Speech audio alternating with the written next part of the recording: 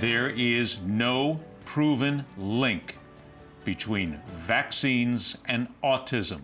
The studies have been done over and over again, and there is no link. Doctor, I'm not a doctor. I play one on TV sometimes. You're the doctor. Did I say anything wrong just now? No, you did not.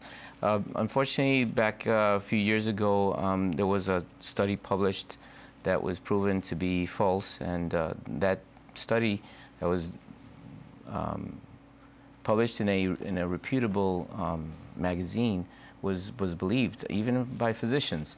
So um, that that study was one of the biggest uh, medical hoaxes in in history, and has done a lot of damage to um, vaccinations and people that want to get vaccinated. We're going to dig more into autism later on, but I just wanted to make that. I don't think you can say that out loud enough so that people can understand.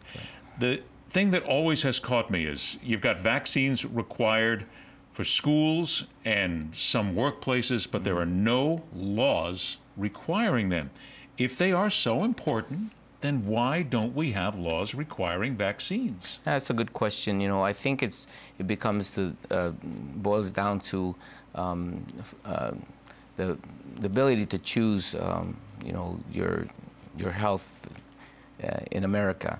I mean, some people will research it and say, okay, I'm, I'm, I'm okay with get, getting vaccines. But a lot of us, you know, now with the advent of the internet and social media, you know, we're reading a little more about um, problems that vaccines have brought uh, supposedly to, to people. So, and some people believe that.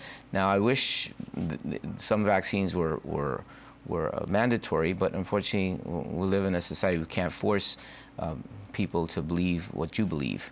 Um, there are ways of, around, uh, like to go to school, you have to get some vaccines, but some people go around it by getting a um, what we call an exemption, which could be religious or can be, um, you know, from for whatever reason.